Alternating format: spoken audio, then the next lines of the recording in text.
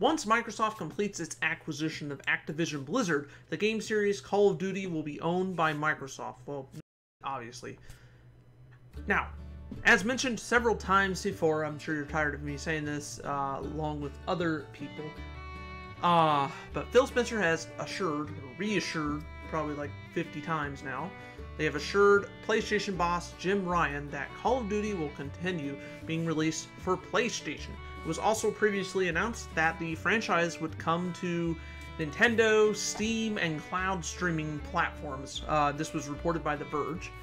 Following was said by Xbox Game Studios head Phil Spencer on Twitter. We are pleased to announce that Microsoft and PlayStation have signed a binding agreement to keep Call of Duty on PlayStation following the acquisition of Activision Blizzard. We look forward to a future where players globally have more choice to play their favorite games. So if you want more updates on the Activision Blizzard deal, you should consider uh, subscribing for more news on this. That's really all I got for you today. Um, if I see anything like, um, I mean like a minor update, I'm not as likely to report on that. Um, I like to report on the big news, um, and I don't want to like be wasting. I don't. I shouldn't say waste. I don't want to like be taking up all my time doing when I'm doing YouTube, just doing Activision Blizzard.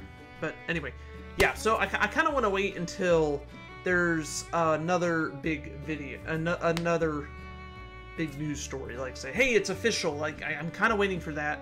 But however, I think if I hear something more on like, say, hey, there's a 10-year contract on the Nintendo Switch, it seems that it seems to be that's the only case with uh, PlayStation. I believe it's 10 years, and Nintendo 10 years. I could be wrong, but uh, you know, or if they announce a new game on the Switch, I, I don't know. I don't think we're gonna get a you know a, a specific game announcement like this week. Maybe I'm wrong. I don't know next month, maybe? I don't know what to wait and see. So look forward to more. Anyway, that's all I got for you today. Let me know what you guys think, and I will see you in the next video.